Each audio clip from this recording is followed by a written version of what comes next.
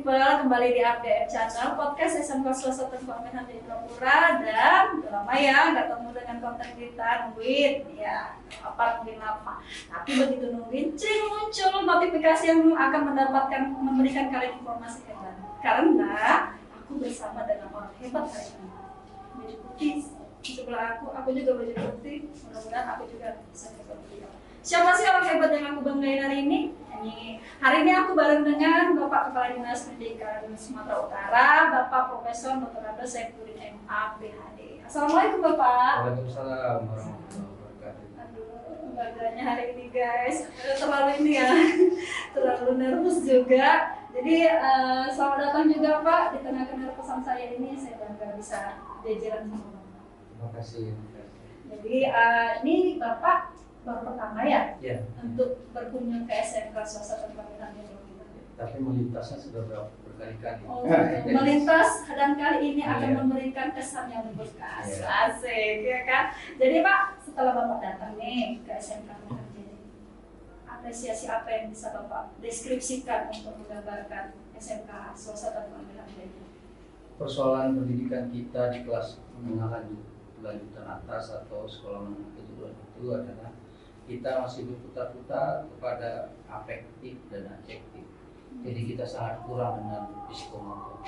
Saya melihat setelah mencermati dari tadi berada di SMK eh, swasta Tumpang Anja ini, di sini justru eh, psikomotor itu berjalan dengan baik. Contohnya pada hari ini saya dapat melihat eh, siswa-siswa yang mengendalikan tentang eh, radio ini ya sebagai alat komunikasi tidak hanya kepada siswa tetapi juga kepada masyarakat umum. Ya.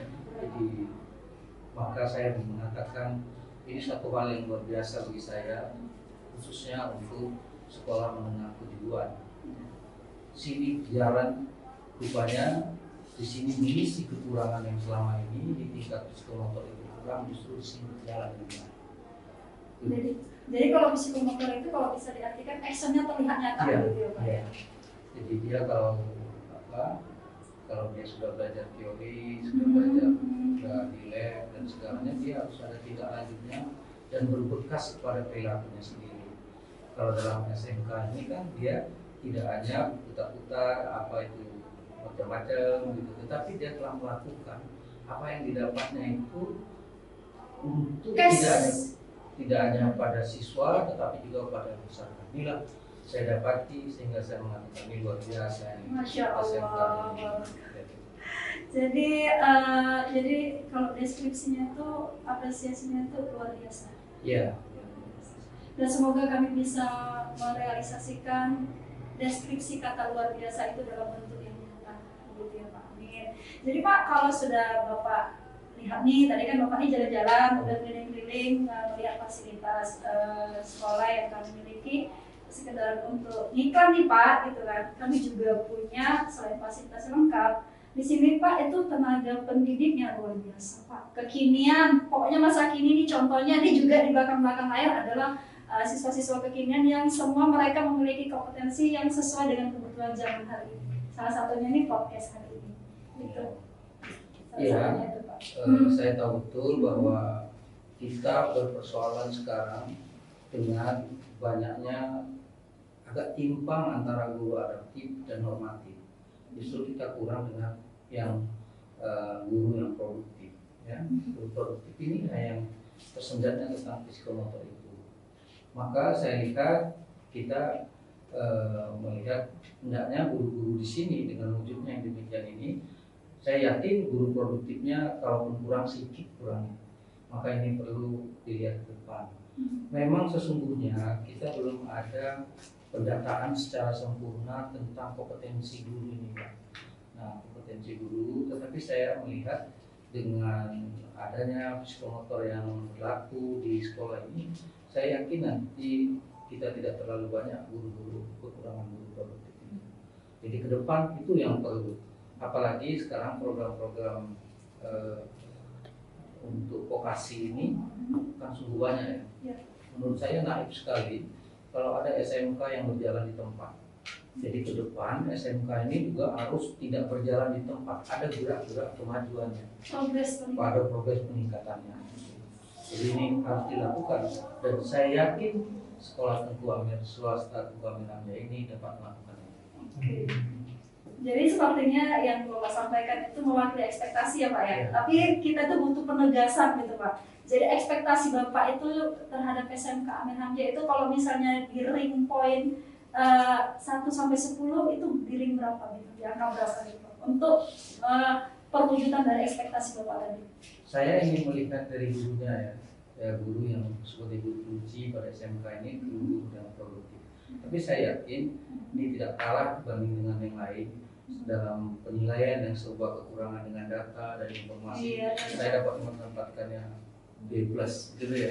Nah memang yang paten itu kan A plus atau A, A plusnya nggak ada. Tapi ini dapat B naik sedikit menjadi plus. Oh gitu Pak. Inilah dalam pikiran saya kalau saya berkedudukan sebagai juri atau menuntut menilai dari sekolah menengah kejuruan Teguh Amir Hamzah ini. Terima kasih Bapak. Jadi eh, guys, jadi kalau kalian mau sebagai kita nanti tahun depan kalau ada informasi penerima peserta didik baru, cus buruan ya, jangan sampai ketinggalan karena nanti kalian akan menjadi bagian dari output dari eh, ekspektasi Bapak Kepala Dinas tadi. Jadi Pak, eh, ini udah melambung tinggi nih kitanya semua. Eh, jadi setelah saat melambung tinggi, tinggi itu kita supaya nggak lupa diri, ada satu kata yang mengingatkan supaya kita mempertanggungjawabkannya. Jadi kira-kira kata apa yang bisa menggambarkan eh, SMK ini Pak? Jadi kita bisa bertanggung jawab nih ya kan, nah, jangan sekedar hanya katanya, katanya, katanya, tapi harus kita bertanggung jawab untuk bisa merealisasikannya. Apa kata yang tepat untuk menggambarkan? Sekolah menengah kejuruan Teguh Hamzah ini harus Arif. Menghadapi keadaan Mhm. tek- teknologi yang cukup canggih sekarang dan pertumbuhan IT itu kan tidak linear kan? sehingga saya Hamzah harus berpikir tentang itu. Demikian. Arif ya Pak ya, harus lebih arif dan tepati, tentu- tentunya juga kreatif, inovatif. Inovatif. Biar kita tetap jejer dengan teknologi-teknologi yang semakin berprogres setiap zamannya. Jadi oke baik guys hari ini segitu ajanya informasi yang aku kasih. Jadi kalau mau banyak informasi ya datang aja langsung ke sekolah. Dan jangan lupa setelah lihat konten ini kritingin jarinya di like, comment, share, subscribe. Aktifkan juga tombol notifikasi kalian jadi kalian gak akan ketinggalan informasi berikutnya di SMK Swasta Tengku Amir Hamdindra bersama ABM Channel. Jadi hari ini selamat menunaikan ibadah sholat Jumat biar tambah ganteng, biar tambah soleh. Jadi kalau udah ganteng dan soleh, buruan gabung biar tambah berkarakter dengan memiliki eh, kemampuan, kompetensi yang handal bentukan SMK Swasta Tengku Amir Hamdindra. Bapak ya, Assalamualaikum, selamat siang.